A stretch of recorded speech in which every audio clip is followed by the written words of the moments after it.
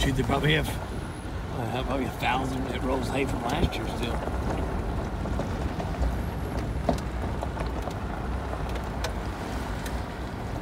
Really pretty country.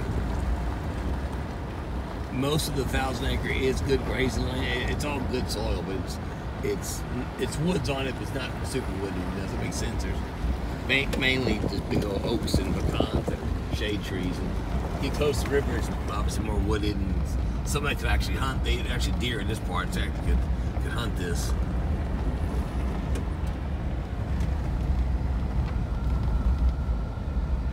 A hay meadow. Look at they're baling that over there. Hay meadow.